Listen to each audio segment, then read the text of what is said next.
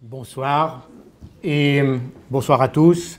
Merci pour me donner l'occasion de m'exprimer sur le sujet de protection des civils, qui est un sujet qui est à la fois passionné, émotionnel, pour lequel tous nous avons intuitivement une, euh, une réponse ou un jugement sur ce qui se passe actuellement à Gaza. Malheureusement, dès qu'on parle de ça, dans le contexte de Gaza, on est invariablement traité de euh, soutien au terrorisme et de soutien euh, au, diable pratiquement, et je n'exagère pas vraiment. Permettez-moi pour ce soir, et pour faire vite, puisqu'on n'a pas beaucoup de temps, de reprendre ma casquette d'ancien euh, chef de la doctrine des opérations de maintien de la paix à New York, où je me suis pratiquement consacré à la question de la protection des civils et qui était un des, dossiers principaux que j'ai eu à traiter durant deux ans à New York. Et que j'ai traité par la suite encore au service de l'Union africaine, à l'école de maintien de la paix de Nairobi, euh, au profit de l'Union africaine. L'objectif de cet exposé euh, sera de vous donner des éléments objectifs, dépassionnés, dépolitisés, impartiaux, qui vous permettent de juger dans quelle mesure on peut protéger les civils. Comme euh, l'a dit euh, monsieur qui, qui, nous a introduit tout à l'heure, j'ai été formé à la lutte contre le terrorisme en Grande-Bretagne durant les années 80. J'ai écrit plusieurs livres à ce sujet, et je peux vous dire que même en admettant ce que l'on pourrait discuter, mais qui n'est pas le thème de ce soir, qu'on ait affaire à une lutte contre le terrorisme à Gaza, il y a des centaines de possibilités de lutter contre le terrorisme sans massacrer une population. Des centaines. Et mon dernier livre, d'ailleurs, sur la lutte contre le, terrorisme djihadisme, est, effectivement parle de ça. Pardon. Ah, pardon. Voilà. D'accord, on va faire comme ça. Je vais essayer de le faire un peu mieux. Voilà. Alors, Parmi les différents euh, euh, éléments qui, euh, qui, entrent dans le jugement de, cette affaire, je me base sur des définitions officielles, sur des documents officiels. Donc je n'invente rien, tout ça est référencé au niveau des, des documents internationaux. Donc quand on parle de civil, tout d'abord, on parle de tout ce qui ne fait pas partie d'un groupe armé ou d'une force armée. Vous voyez que la définition est extrêmement large.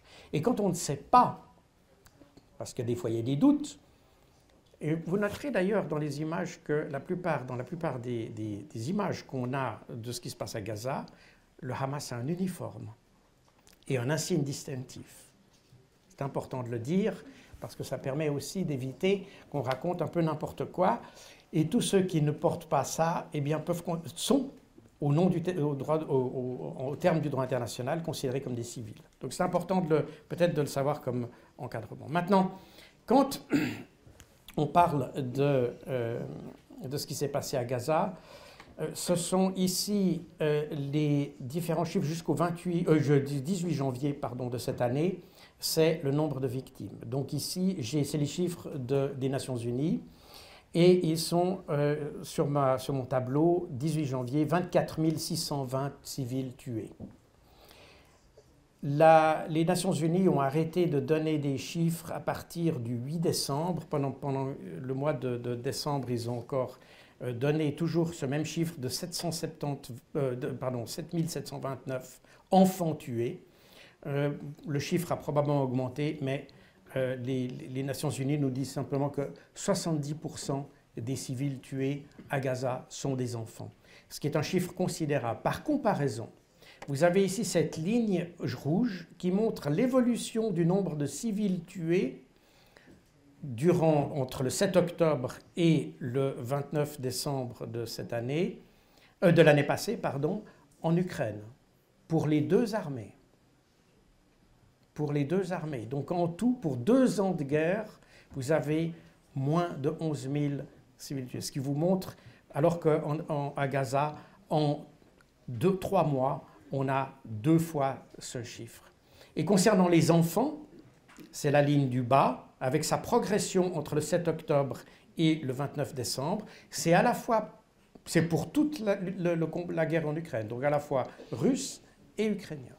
Et vous voyez qu'on a affaire en fait à deux guerres de nature différente.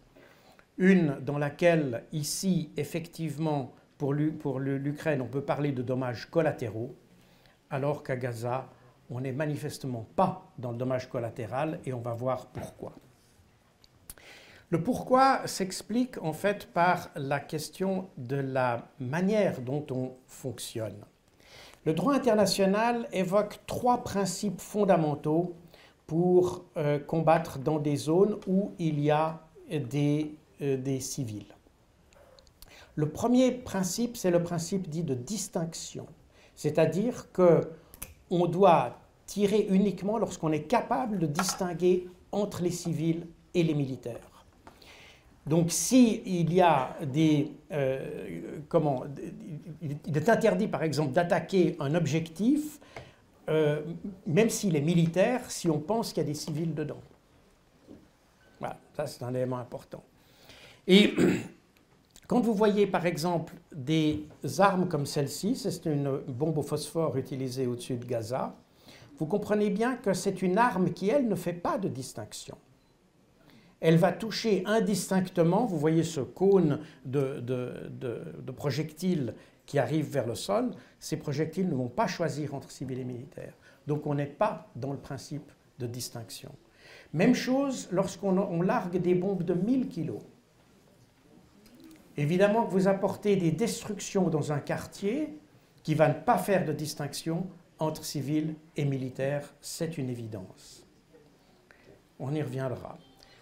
Je pourrai répondre naturellement aux questions. Le deuxième principe, c'est le principe de proportionnalité. C'est-à-dire que les dommages que l'on cause doivent être proportionnels à l'objectif recherché. Alors, ici, je vous montre un exemple, qui est d'ailleurs un exemple illégal à part ça? C'est l'élimination de Salah al-Rouri euh, à Beyrouth euh, le 2 janvier de cette année. Et cette attaque était illégale parce qu'Israël a attaqué un État souverain. Qui, qui a été l'objectif? C'est l'attaque d'un pays souverain et qui était illégale dans sa substance.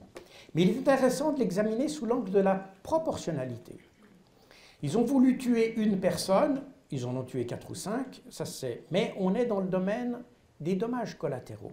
Vous voyez qu'ils ont visé l'appartement ou la maison dans laquelle se trouvait la personne. Alors que quand on est, euh, quand on a vu les images précédentes, pardon, on voit bien qu'on ne vise pas. Donc, il existe une capacité, ils ont la possibilité de choisir, mais ils ne l'utilisent pas. Donc, on n'est pas du tout dans le principe de proportionnalité. Et alors, quand on regarde maintenant les chiffres de la... Alors, c'est les chiffres que j'ai pris au 26 novembre. Euh, je n'ai pas eu le temps de les actualiser, mais euh, le principe, vous le comprendrez assez facilement. Au 26 novembre, Israël avait tiré 40 000 tonnes de bombes sur Gaza avait causé déjà 14 800 morts civiles et tué 1000 à 2000 combattants du Hamas. Alors si vous faites le compte, vous remarquez qu'il y a environ 10 civils tués par militants du Hamas tués. On n'est pas du tout dans l'exemple de la proportionnalité. Il y a environ 20 et 40 tonnes de bombes utilisées pour un militant du Hamas tué. Et finalement, il y a plus de 2 tonnes de bombes par civil tué. Vous voyez vous-même que ces chiffres sortent de la proportionnalité. Et ça n'a rien à voir avec le fait qu'est-ce qu'on soit pour ou contre Israël ou pour je ne sais pas qui. L'examen des chiffres nous dit tout simplement qu'on est hors du droit international. Point final. Mais il y a un troisième principe, c'est le principe de précaution. C'est-à-dire que lorsqu'on a un doute, lorsqu'on ne sait pas qui on va toucher, si on pense qu'il y a des civils dans la zone où on va toucher, alors on s'abstient. Et on utilise une autre méthode. En admettant même qu'on fasse une lutte antiterroriste euh, à Gaza, ce que je pense, on n'est pas du tout dans ce cas de figure, mais de nouveau, on ne va pas discuter ça ce soir. Même en admettant ça, il y a bien d'autres manières pour tuer des militants du Hamas que de massacrer une population. Et donc, le principe de précaution devrait prévaloir. Or, qu'est-ce qui se passe? On s'aperçoit que c'est exactement l'inverse. On rend toute la population responsable de ce qui s'est passé le 7 octobre. Et je n'invente rien, puisque ça a été dit par le président Isaac Herzog. Ça a été dit sous une forme différente en citant la Bible par Benjamin Netanyahu, qui, qui a même dit Va frapper Amalek, détruis tout ce qu'il possède, ne l'épargne pas, tue les hommes et les femmes, les enfants et les nourrissons, les bœufs et les moutons, les chameaux et les ânes. Et ce sont des choses qui ont été répétées par les soldats dans le terrain, ce qui signifie que ce ne sont pas simplement des mots vides qui ont été déclarés, mais ce sont des mots qui ont été répercutés jusqu'au niveau militaire le plus bas. Donc on est précisément dans l'absence du principe de précaution. Et d'ailleurs, on le voit, alors peut-être l'image n'est pas si bonne, mais c'est une carte de CNN qui a recensé tous les impacts de bombes de 1000 kilos donc on n'a même pas compté les autres, seulement les bombes de 1000 kg. Et vous voyez que si vous comptez que chaque bombe a un, rayon de létalité, donc de mortalité, d'environ 400 mètres, vous pouvez vous imaginer ce que représentent tous ces petits nuages de points ici. Donc on est effectivement dans euh, l'absence totale de... Euh, vous avez la référence en bas si vous voulez le voir d'ailleurs, ce ne sont pas des cartes que j'ai inventées. Alors on essaye de justifier ça. Mais en droit international, comme d'ailleurs dans le droit pénal normal, aucun crime ne peut en justifier un autre. Jamais. Vous ne pouvez jamais vous prévaloir d'un crime pour euh, en, faire un autre. Ensuite, les crimes des conflits précédents qu'on évoque souvent, on dit oui, mais les Alliés à Dresde avaient fait bien pire, ou bien même à Mossoul, les Alliés ont fait bien pire. Ça n'est pas une justification, déjà parce que, comme je l'ai dit, un crime n'en justifie pas un autre, mais aussi parce qu'on est dans des contextes différents. On est dans le cas d'abord de guerre d'agression, donc de toute façon on était déjà dans des situations qui étaient déjà illégales en elles-mêmes, c'est déjà la première chose. Et ensuite, on remarque que c'est des, pays qui ont fait ça, sont des pays qui ont déjà une solide histoire de massacre de populations civiles. Quand c'est, pas, quand c'est des populations du Moyen-Orient, on n'a pas beaucoup de... Le principe de précaution n'existe pas du tout. Et finalement, il y a un point qu'on ne dit jamais. Mais Israël est en puissance occupante dans les territoires occupés, elle a le devoir de protéger la population civile. C'est une de ses obligations, que ce soit à Gaza ou en Cisjordanie. Ça fait partie de son obligation. Ce que n'avait pas, alors à leur décharge, les Américains en Irak, etc., puisqu'ils étaient dans un cadre de conflit. Le conflit était illégal, on est d'accord, on ne revient pas là-dessus. Mais ils n'avaient pas cette obligation de protéger la population. Ils avaient des obligations en fonction du droit international de ne pas toucher la population. Donc on va pas, je ne cherche pas à les excuser ici, mais j'essaie simplement de montrer que Israël a une obligation supplémentaire, si j'ose dire, c'est qu'il a la responsabilité d'une population, la responsabilité d'assurer même son bien-être c'est important, même son bien-être. Alors, on évoque souvent le droit d'Israël à protéger sa population. Et effectivement, Israël a le droit de protéger sa population. Il n'a pas le droit d'invoquer l'article 51 de la Charte des Nations Unies pour se défendre, puisque cet article ne fonctionne que lorsqu'on a deux pays qui s'affrontent, deux pays qui sont belligérants. Or, Gaza n'est pas un pays. Si si encore Israël avait reconnu la Palestine comme pays, il pourrait invoquer l'article 51. Mais comme ils ne l'ont pas fait, ils sont pris au piège de leur propre euh, défaut politique, si j'ose dire, et ils ne peuvent pas invoquer cet article 51. Ceci étant dit, Israël a le devoir de protéger sa propre population, et c'est d'ailleurs un devoir tout à fait légitime. Mais là aussi, le droit international lui donne des limites. Cette protection ne peut pas se faire aux dépens des Palestiniens. Par exemple, on a beaucoup parlé déjà du jugement de la Cour internationale de justice sur le mur de séparation entre euh, Jérusalem, euh, entre, la Cisjordanie pardon, et euh, l'État d'Israël. Et cette, protection est un préjudice à la population palestinienne en réalité.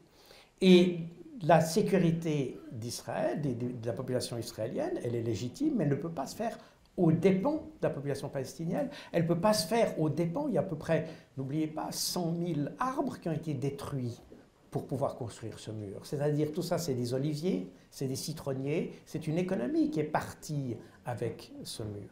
Et ça, de nouveau, c'est interdit par le droit international. Et a fortiori, pour ce qui est du cas de Gaza, cette protection ne peut pas signifier la destruction d'une population. Et comme j'ai dit tout à l'heure, il y a bien d'autres méthodes pour lutter contre le terrorisme euh, que euh, de bombarder euh, des populations. On a parlé des enfants. Alors, comme j'ai beaucoup parlé déjà du conflit ukrainien, c'est pour ça que j'ai été connu ces deux dernières années, je vais revenir sur le problème des enfants. la Russie, et en particulier son président, président Vladimir Poutine, ont été condamnés par, enfin pas condamnés, mis en accusation par la Cour pénale internationale pour avoir détourné ou enlevé des enfants et les avoir déportés vers la Russie. Un journaliste américain a retrouvé ces 6000 enfants qui venaient du Donbass. Et voilà ce qu'il a trouvé. Des enfants qui, sont, qui suivent une école, qui sont dans des hôtels, qui sont soignés. Pourquoi? Parce qu'on les a écartés du champ de bataille. On ne les a pas enlevés, on les a écartés du champ de bataille, d'ailleurs avec l'accord de leurs parents. Quand on regarde en Cisjordanie, on a une image très différente.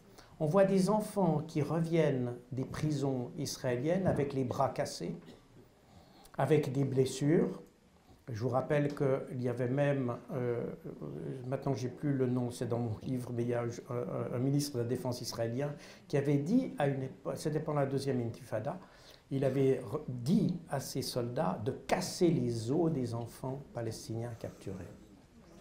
Donc on est très loin de respecter le bien-être des gens. Alors, conclusion. Le sens des forces armées, et pour ceux qui ne le savent pas, je suis colonel de l'armée suisse accessoirement, et j'ai aussi dirigé des unités, enfin des unités de l'armée suisse. Le sens des armées, ça n'est pas pour délivrer des vengeances. Le sens des armées, c'est pour mettre la puissance militaire au service de politique en partant de l'idée que la politique est raisonnable, qu'elle a une raison, qu'elle n'est pas... Euh, ce n'est pas des émotions, on ne fait pas de la vengeance quand on est dans une armée. On est là pour canaliser. La vengeance est une affaire, excusez-moi de le dire comme ça, de civil. Le militaire n'a pas le droit à la vengeance. L'éthique, la discipline sont là pour canaliser l'usage de la force et non pas la violence. Or, on s'aperçoit que malheureusement, ça n'est pas partout le cas.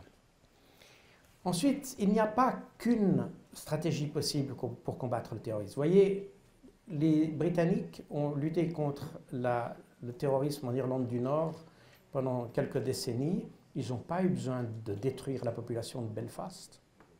La même chose en Italie, les, Italiens ont éliminé les brigades rouges, ils n'ont pas eu besoin de bombarder Florence ou Bologne.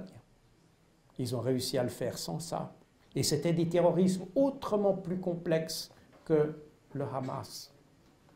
Donc il n'y a pas qu'une seule stratégie possible.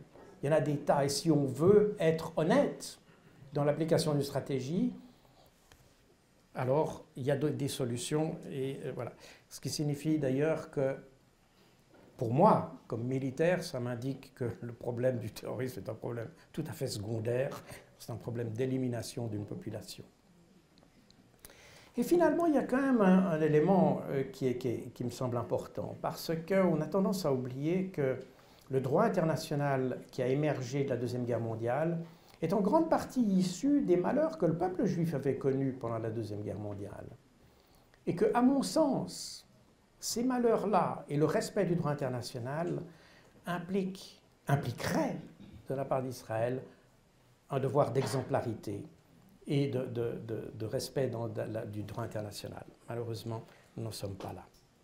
Et finalement, j'aimerais terminer par cette citation de mon ami Peter Maurer, qui était président du Comité international de la Croix-Rouge. On ne met pas fin aux guerres avec des étiquettes de bon ou mauvais, mais avec un travail concret de réconciliation et de médiation. Tchau.